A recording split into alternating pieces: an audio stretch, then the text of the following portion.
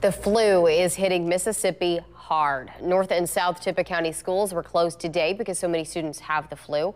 In January, the Clinton School District reported more than 500 students went home with the flu. And this week, 160 kids in Meridian schools were out with it. This almost started um, end of January.